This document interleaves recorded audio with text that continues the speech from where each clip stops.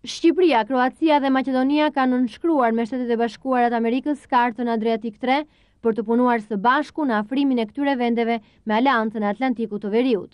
Sekretari Amerikan i Shtetit Colin Powell, së bashku me ministrat e jashtëm Meta, Pikula dhe Mitreva, kanë konkretizuar iniciativën e këtyre vendeve që ngelën jashtë NATO-s në samitin e Pragës.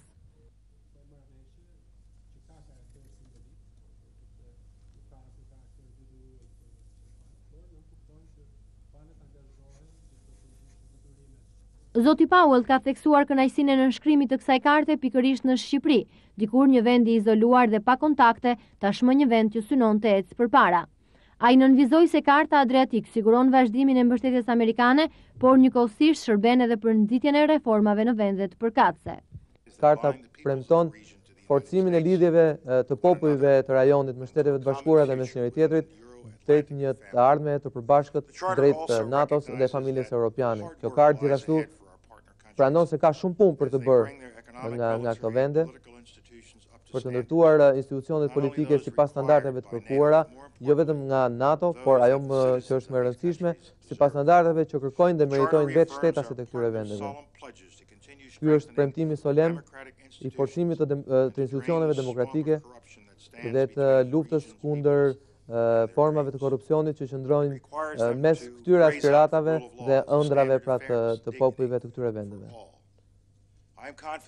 Unë kam besim se fryma e bashkëpunimit që krijoi kartën e Adriatikut tani do të shpejtojë procesin e reformave të partnerëve tanë dhe me qëllim arritjen pra e integrimit në këto institucione euroatlantike. Me nënshkrimin tim në këtë kartë, unë premtoj dhe investoj besimin e Shteteve të Bashkuara, mbështetjen ndaj këtyre tre vendeve, që këta të arrijnë së bashku në në synimin historik në mbërritjen pra në zemrën e Europës. Ministri i Jashtëm shqiptar Meta, i kroat Pikula dhe ministrja e Jashtme e Maqedonisë Mitreva kanë shprehur angazhimin e vendeve të tyre për ecurinë e reformave, bashkëpunim dhe stabilitet në rajon. Ne jemi të vendosur të punojmë së bashku, së bashku me partnerët ndërkombëtarë për të përballuar sfidat e mileniumit të ri, si terrorizmi dhe armët e shkatërrimit në masë, krimi i organizuar, si dhe i aktiviteteve të tjera ilegale. Ne do të vazhdojmë të kontribuojmë në operacionet paqëruese, thotë zoti Meta brenda dhe jashtë zonës euroatlantike. Kjo do të kërkojë shumë punë dhe vendime të ashpra, por zoti sekretari i shtetit ne ju premtojmë si vende, pra si tre vende, vendosmërinë tonë të pastër për të treguar stabilitetin dhe leadershipin drejt leadershipit tonë pra, pra drejt stabilitetit të rajonit.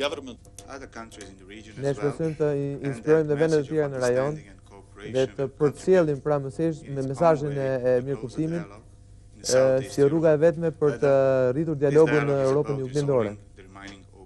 Ky dialog duhet të duhet të karakterizojë pra dhe zgjidhjen e problemeve të tjera të hapura.